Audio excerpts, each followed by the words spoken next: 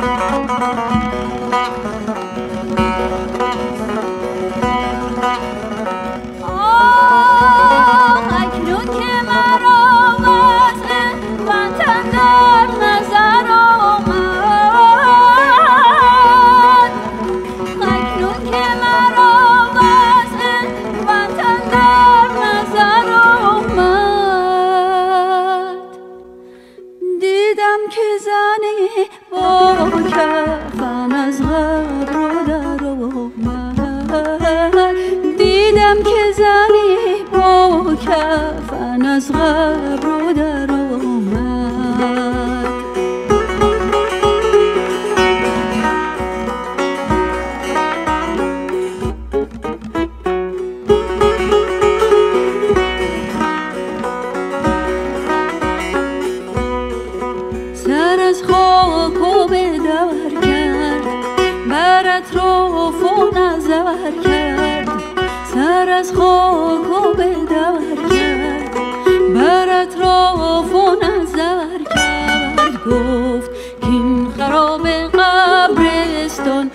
ایران ماست این خراب ایران نیست. پس ایران کجاست؟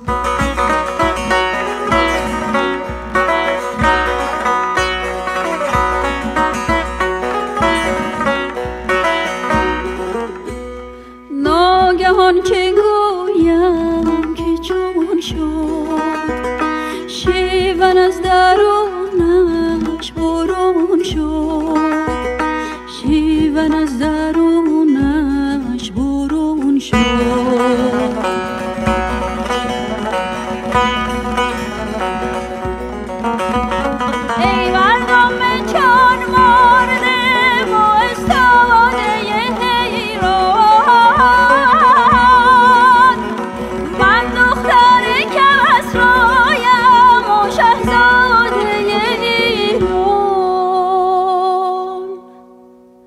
ملک زاده دیری جگر گوشه شیری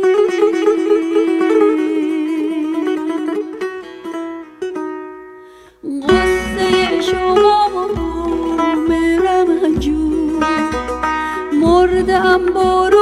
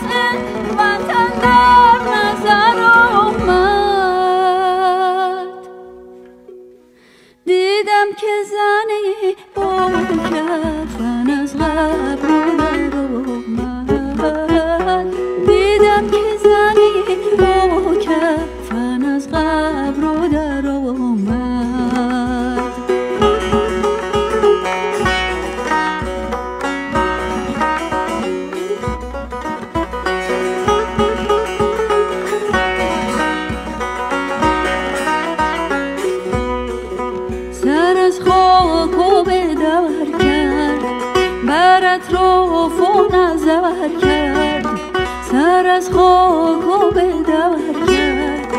بر اطراف و نظر کرد. گفت که این خراب قبرستان نه ایران ماست.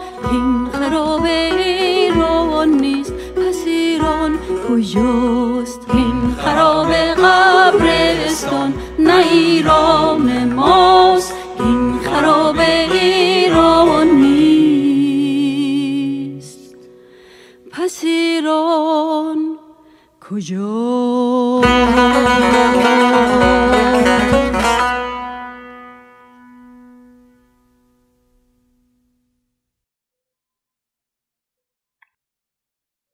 واقعا این ترانه که این زن با این صدای خوبش خوند وضع حال ایران ماست که واقعا اگر مرده هایی که پنجاه سال قبل فوت کردند و ایران رو با اون حال و هوا دیدند سر از قبر بردارند و نگاهی به ایران کنونی ایران آخوندی بندازند. بیگمان ایران رو نخواهند شناخت.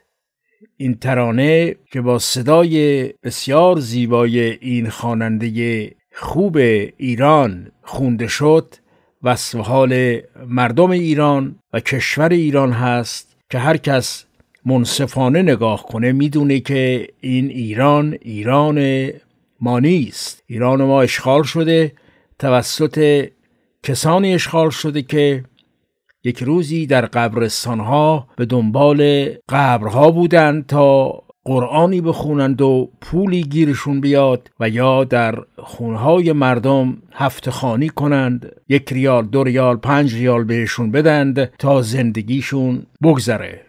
گذران زندگیشون با پول گرفتن از مردم بود و حالا شدند سلطان شدند همه کاره شدند قاضی و وضعیت مردم ایران رو به این روز انداختند که داریم می‌بینیم و این ترانه ای که خیلی سال پیش شاید در حدود 60 70 سال پیش 80 سال پیش این ترانه سروده شده مال میرزاده عشقی است وصف حال امروز ایران هست. اما جوانان ایران نمی‌گذارند وضع به این منوال سپری بشه و ایران نیست و نابود بشه. چون اگر به همین منوال پیش بره ما دیگر ایرانی نخواهیم داشت. اما این اتفاق نمیافته و جوانان رشید این روزهای ایران مثل شش ماه گذشته مبارزه می کنند و ایران رو از دست این مغولان آخوندیسم بیرون خواهند آورد. با سپاس از شما اگر نظر و یا پیشنهادی دارید لطفا بنویسید ما رو ما رو همراهی کنید. بدرود.